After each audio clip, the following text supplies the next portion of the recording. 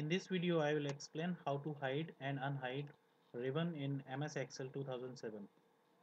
So if I want to hide this ribbon what I will do I will right click here and check the option minimize the ribbon and we can hide the ribbon.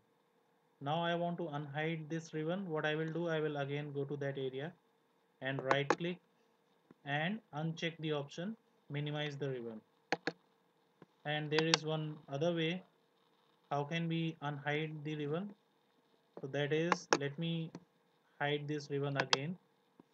Now what I will do I will go to home and I will click on home. And if I click anywhere else then this ribbon is not visible.